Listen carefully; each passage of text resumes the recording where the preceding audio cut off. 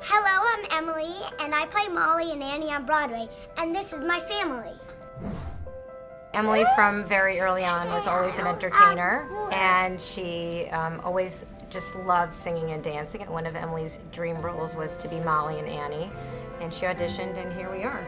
I love being an Annie because all the actors are so nice, and it's just so fun being on that stage with everybody. We've always watched the Tony Awards with the family. It's very exciting because it's such an honor to get nominated, and it's just going to be so fun.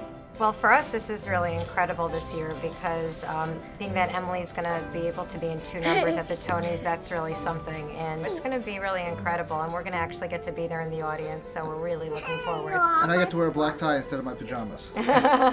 Kids love the Tony Awards because if they can't find a time to go to a real Broadway show, you could turn on your TV and watch it and little clips of um, each Broadway show. And it's just amazing.